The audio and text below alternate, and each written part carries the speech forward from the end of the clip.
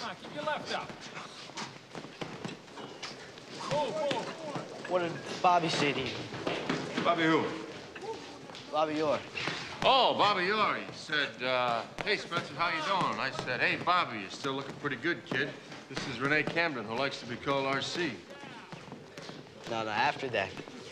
When I was getting dressed, I heard you guys talking. Oh, after that. Well, he said that you had a lot of potential. That you looked pretty good, had some good moves. He also said you were your own worst enemy.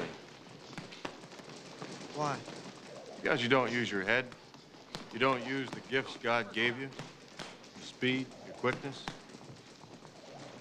What do you suppose would happen to the little guy if he tried to stand toe-to-toe with that big guy and slug it out? He'd get killed. Yeah. Just like you're getting killed on the ice. Yeah, well, I'm not always gonna be this size. But you are now. RC, you've got to be yourself. No matter how hard you try, you can't be somebody else. Not even your brother. And from what you've told me about him, I don't think he'd want it that way. No, that's that's not what I'm trying to be. It's not. I know.